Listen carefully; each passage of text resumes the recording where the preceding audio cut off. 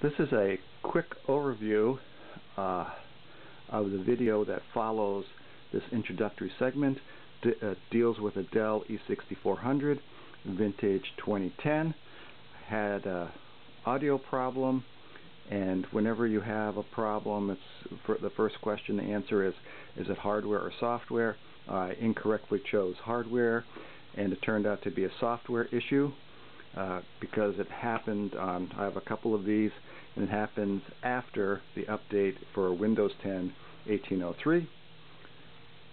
This subsequent uh, video uh, explains a couple of software fixes for that audio problem. This is a Dell 6400 that's running Windows 10 Update 1803 and it has an audio problem. Of course, I didn't connect the audio problem with the update and, and went about and changed the audio card. That's over at uh, this end here. Um, yeah. Uh, so let me boot this up, and so I'm going to put this on pause. If you go to the Windows settings, system, about, oops, you'll you'll find out what the uh, current version is. So this got updated to uh, 1803 and it has an audio problem which can be demonstrated by this. So let me just pause. If you click on the speakers, get a little crackle.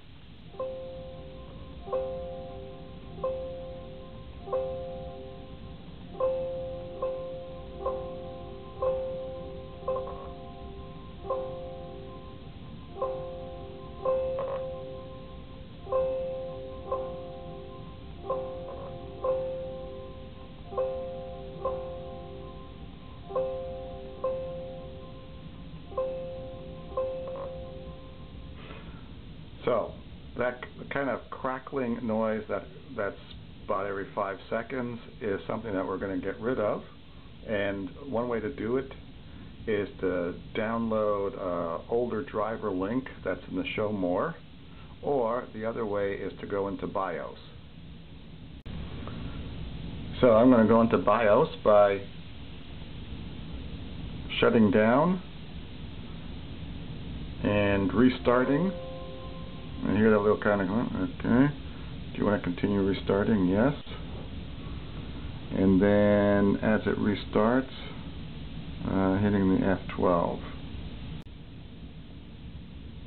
Alright. So, I'm at F12, going to BIOS. I want to go down to BIOS Setup, enter, go down to System Config, into miscellaneous devices and then over here by where it says enable eSATA ports I am going to click on that and apply. And exit and now we'll see if that sound has gone away. So I'm going to pause, well, let me pause it. Okay, so we're back to the home screen here, and let me activate the speakers.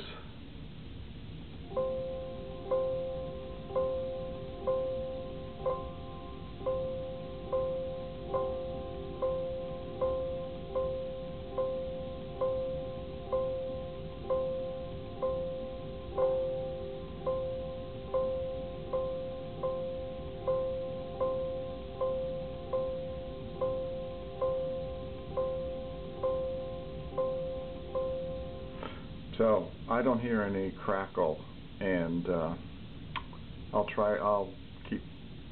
I'll listen to this for a couple more days, and uh, if I don't hear any crackle, then I'll know that the fix has been done.